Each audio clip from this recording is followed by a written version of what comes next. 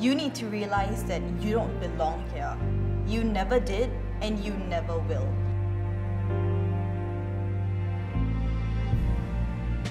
I know I may not be the best, but I'll do whatever it takes to make it to the national team.